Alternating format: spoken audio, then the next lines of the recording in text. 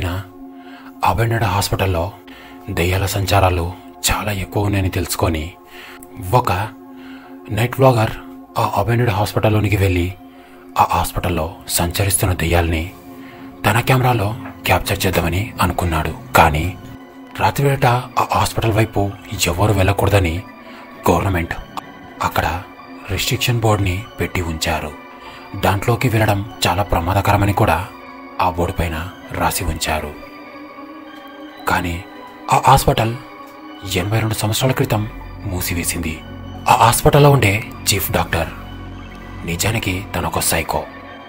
తనకు మనుషులంటే అస్సలు పడదు. అందులో పేషెంట్లంటే అస్సలే నచ్చదు. దాంతో ఆ హాస్పిటల్కు ఎవరు పేషెంట్స్ అడ్మిట్ అయినా వాళ్ళందరికీ ఏదో ఒక కారణం చెప్పి ఆపరేషన్స్ అనే పేరుతో వాళ్ళ బాడీలో ఉండే ఆర్గన్స్ని బయటికి తీసి వేరు వేరు చోటన పెట్టేసి మళ్ళీ కుట్టేసేవాడు. అలా చేయడం వల్ల చాలామంది పేషెంట్స్ చనిపోయేవారు. ఆ హాస్పిటల్కి జలుబు లేదా జ్వరం ఇలా ఏ కారణం వల్లైనా ఆ హాస్పిటల్కి అడ్మిట్ అవుతే ఆపరేషన్ అనే పేరుతో వాళ్ళ బాడీలో ఉండే ఆర్గాన్స్ని మార్చి మార్చి పెట్టేసి మళ్ళీ కుట్టేసేవాడు. అలా చేయడం వల్ల ఆ పేషెంట్స్ చనిపోయేవారు. నిజానికి ఆ డాక్టర్ అలా ఆపరేషన్ చేసి ఆర్గాన్స్ మార్చడం వల్ల పేషెంట్స్ నరకం అనుభవిస్తూ ఎన్ని రోజులు బ్రతుకుతారు అనేది చూస్తూ ఎంజాయ్ చేసేవాడు. కొంతమంది పేషెంట్స్ రెండు గంటల్లోనే చనిపోయేవారు. మరికొంతమంది పేషెంట్స్ నరకం అనుభవిస్తూ మూడు రోజులు లేదా నాలుగు రోజుల కల్లా చనిపోయేవారు. అలా చనిపోయిన వాళ్ళందరినీ అదే హాస్పిటల్లో బేస్మెంట్ కింద ఒక సొరంగ మార్గాన్ని తీసి ఆ సొరంగ మార్గంలోనే పడేసేవారు. అలా ఆ డాక్టర్ మూడు లక్షల ఆరు వందల డెబ్బై రెండు మందికి ఆపరేషన్ చేసి వాళ్ళందరినీ చంపేశాడు.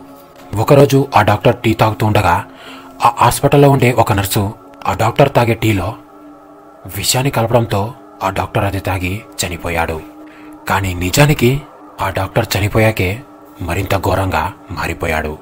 ఎందుకంటే ఎప్పుడైతే ఆ డాక్టర్ చనిపోయాడో మూడు రోజుల తర్వాత ఆ డాక్టర్ అదే హాస్పిటల్లో దెయ్యంగా మారి ఆ నర్సుని కూడా చాలా చిత్రహింసలు పెట్టి భయపెట్టి చంపేశాడు.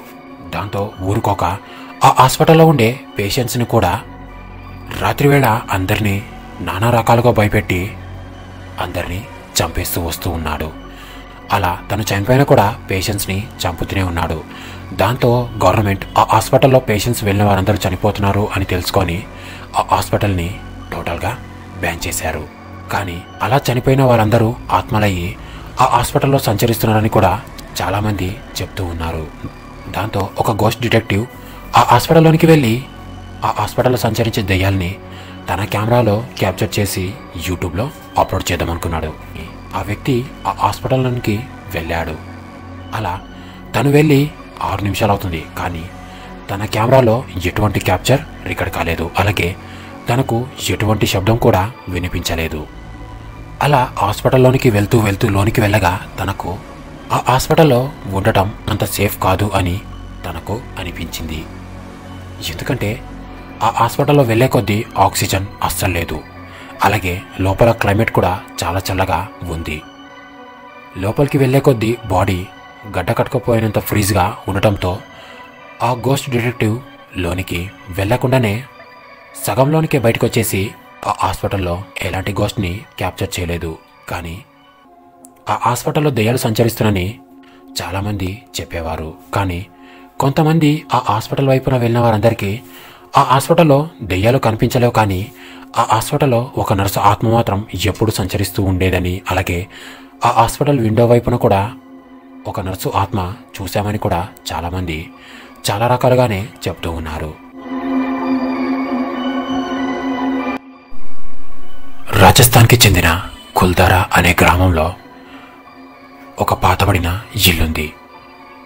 కొన్నాళ్ళ క్రితం ఆ ఇంట్లో ఒక కుటుంబం ఉండేది కానీ ఆ కుటుంబానికి చెందిన ఒక అమ్మాయి ఆ ఇంట్లోనే రాత్రి నిద్రలోనే చనిపోయింది. అసలు అలా ఎలా చనిపోయింది అనే దాని గురించి కూడా ఎటువంటి రీజన్స్ లేవు.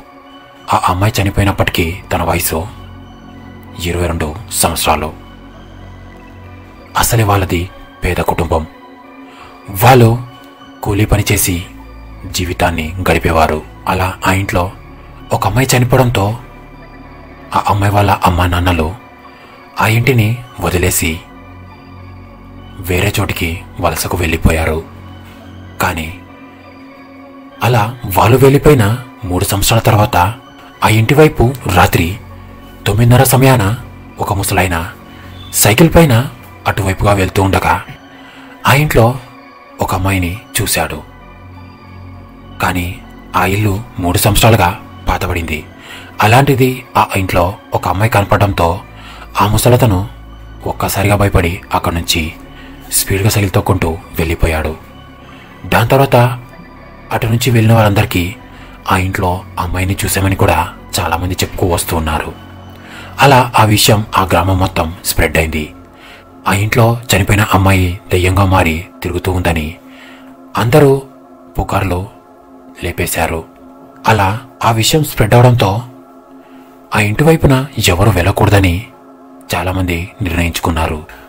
కానీ ఒకరోజు ఆ ఇంటి ముందు నుంచి ఒక పిల్లవాడు సైకిల్ తొక్కుంటూ వెళ్తూ ఉండగా ఆ ఇంట్లో ఉండే అమ్మాయి ఏ బాబు ఇటు రా అని పిలిచినట్టుగా ఆ అబ్బాయికి వినపడంతో ఆ అబ్బాయికు తను దెయ్యం అని తెలియక ఇంట్లోకి వెళ్ళాడు. కానీ ఆ అబ్బాయి ఇంట్లోకైతే వెళ్ళాడు కానీ మళ్ళీ వెనక తిరిగి రాలేదు.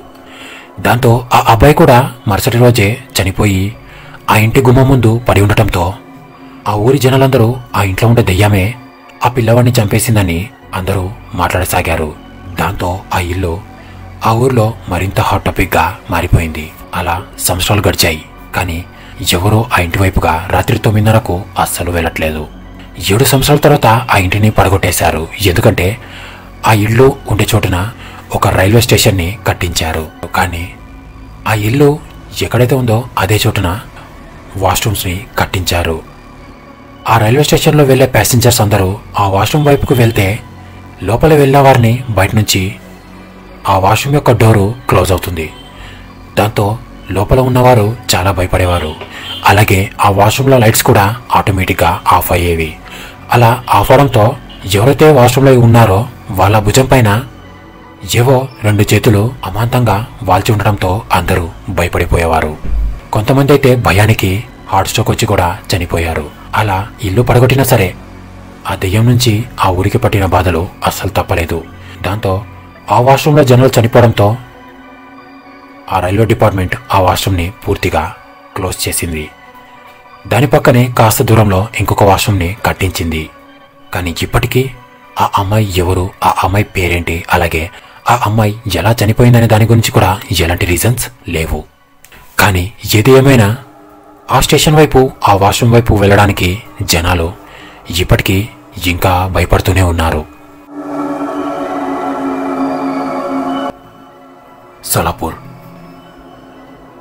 ఈ జిల్లాలో రైల్వే స్టేషన్ పక్కనే రైల్వే హెడ్ క్వార్టర్స్ ఉన్నాయి. కాకపోతే అక్కడే ఒక మర్రి చెట్టు కూడా ఉంది.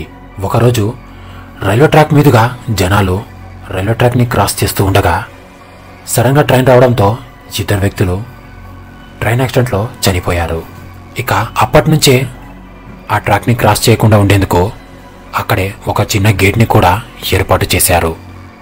కానీ గేట్ అయితే ఏర్పాటు చేశారు కానీ ప్రతి సంవత్సరం ఆ ట్రాక్ పైన పది నుంచి ఇరవై యాక్సిడెంట్లు జరుగుతూనే ఉంటాయి.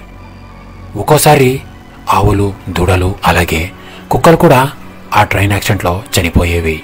మరికొంతమంది అయితే ఆ ట్రైన్ యాక్సిడెంట్లోనే చనిపోయేవారు. కానీ ఇక్కడ విచిత్రం ఏంటంటే ట్రైన్ రాకపోయినా సరే ట్రాక్ క్రాస్ చేసేటప్పుడు కొంతమంది ఉన్నట్టుండగా అక్కడ మూర్చిపోయి పడిపోయేవారు. అలా పడిపోగా ఆ టైంలో ట్రైన్ కనుక వస్తే వాళ్ళ మీదకు వెళ్ళిపోయేది. అలా కూడా ఆ చోటున జనాలు చనిపోతూ ఉన్నారు. దాంతో రైల్వే డిపార్ట్మెంట్ అటు నుంచి ఎవరు వెళ్ళకూడదని టోటల్గా ఆ ట్రాక్ నుంచి ఒక కిలోమీటర్ వరకు ఒక గోడని కట్టించేశారు. దాంతో జనాలు అటు సైడు వెళ్ళడానికి కూడా దారి లేకుండా పోవడంతో వేరే మార్గాన వెళ్ళసాగారు. కానీ ఆ గోడ కట్టి రెండు నెలల తర్వాత ఆ గోడ ఉన్నట్టుండి కూలిపోయి పడిపోయింది. దాంతో ఆ రైల్వే డిపార్ట్మెంట్ బహుశా జనాలు ఇలా వెళ్తే షార్ట్కట్ అవుతుందని జనాలు ఈ గోడని పలగొట్టేశారు అని అనుకున్నారు. కానీ నిజానికి జనాలు కూడా ఆ గోడని పలగొట్టలేదు. దాంతో ఆ స్టేషన్ యాజమాన్యం జనాలు ఏం చేసినా సరే ఆ ట్రాక్ని క్రాస్ చేసుకుంటూనే అటువైపు నుంచి వెళ్ళసాగారు. దాంతో రైల్వే డిపార్ట్మెంట్ కూడా దాన్ని పెద్దగా పట్టించుకోలేదు. కానీ అక్కడ డేంజర్ జోన్ అని కూడా ఒక బోర్డు పెట్టారు. కానీ ఎవరూ పట్టించుకోవట్లేదు. ఒకరోజు ఆ ట్రాక్ మార్గాన రైల్వే స్టేషన్లో పనిచేసే ఒక అతను రాత్రి పన్నెండు గంటలకు ఆ ట్రాక్ మార్గాన వెళ్తూ ఉన్నాడు. అలా ట్రాక్ మార్గాన వెళ్తూ ఉండగా ఆ ట్రాక్ పైన ఇంతకుముందు ఎవరైతే చనిపోయారో వాళ్ళందరినీ ట్రాక్ పైన నేరుగా పడుకున్నట్టుగా తను చూశాడు. అలాగే అతను వాళ్ళను చూడగా వాళ్ళు కూడా అతన్ని చూసి నువ్వు కూడా మాతో కలిసిపోతావా? రా పక్కనే చోటు ఖాళీగా ఉంది అని అనంతో అతను ఒక్కసారిగా భయపడి వెంటనే అక్కడి నుంచి వెళ్ళిపోయాడు. అలా వెళ్ళిపోతూ ఉండగా ట్రాక్ పక్కనే ఒక మర్రి చెట్టు ఉంది. ఆ మర్రి చెట్టు పైన కూడా చాలామంది కూర్చొని ఉన్నారు. అతను వాళ్ళని చూసి కూడా భయపడ్డాడు. కానీ ఆ మర్రి చెట్టు పైన ఉన్న వాళ్ళను చూడడానికి కొంచెం భయంకరంగానే ఉన్నారు. ఎందుకంటే అందరూ చెట్టు పైన అయితే కూర్చొని ఉన్నారు కానీ ఎవరికి కాలు లేవు. దాంతో ఆ వ్యక్తి ఒక్కసారిగా భయపడి అక్కడి నుంచి ఆ వ్యక్తి అటు నుంచి వెళ్ళిపోగా తను జీవితంలో ఎప్పుడూ అటువైపుకి రానేలేదు. కానీ ఇప్పటికీ ఆ రైల్వే స్టేషన్ వెనుక భాగం ఉండే రైల్వే క్వార్టర్స్లో రాత్రి పన్నెండు దాటితే ఆ రైల్వే ట్రాక్ పైన చనిపోయిన వారందరూ పడుకొని ఉంటారని అలాగే వాళ్ళలో కొంతమంది కాలు చేతులు విరిగిపోయిన వాళ్ళు ఆ మర్రి చెట్టు పైన కూర్చొని ఉంటారని కూడా చాలామంది చెప్పుకు వస్తున్నారు. వీలైతే మీరు కూడా రాత్రి పన్నెండు గంటలకు అటువైపు వెళ్ళకుండా ఉండేందుకు ట్రై చేయండి. ఓకే గైస్ ఈ స్టోరీస్ మీకు నచ్చినట్లయితే కామెంట్ సెక్షన్లో కామెంట్ చేయండి. మరో కొత్త స్టోరీతో మళ్ళీ నెక్స్ట్ ఎపిసోడ్లో మళ్ళీ కలుద్దాం. అంతవరకు స్టేట్యూన్ మళ్ళీ కలుద్దాం.